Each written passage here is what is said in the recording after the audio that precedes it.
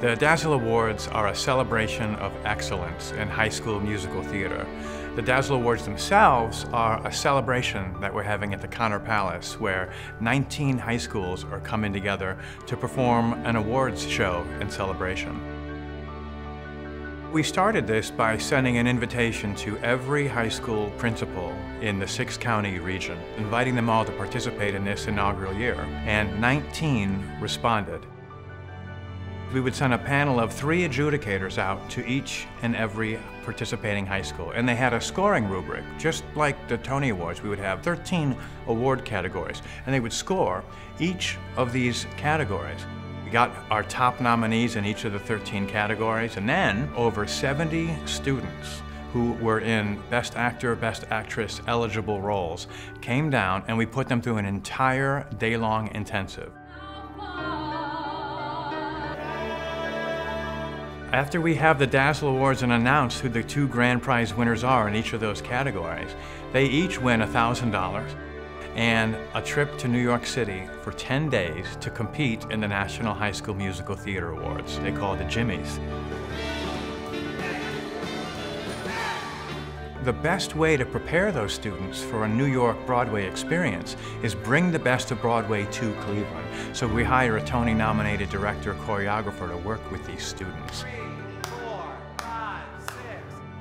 You're going to see a citywide talent show of which the best kids from these high school productions will be performing. This week, uh, we're putting together that opening number, we're putting together a closing number, and then a bunch of small numbers in between that showcase the best actor in a musical and the best actress in a musical.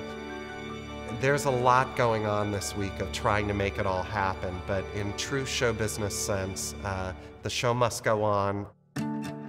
Beautiful. And you know what? Look up. Here we go. One. An event like this really holds an enormous amount of value because it's all about celebrating the arts in youth.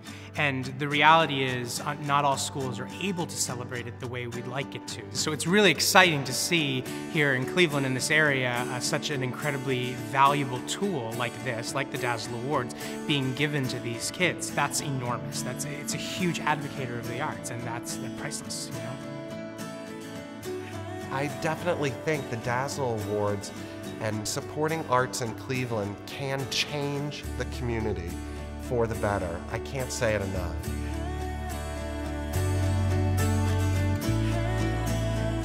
What an absolute honor for our young people to get the chance to interact with students that they would never come into contact with in any real substantive way. It's why you go into teaching, to see kids get these opportunities and be able to do what they love for themselves, for audiences, and, and just grow in that way. They get one night to just be celebrated as a theater kid and to actually be in the big leagues, to stand on that stage and to look out at an enormous auditorium where professionals perform is an unparalleled experience for those kids.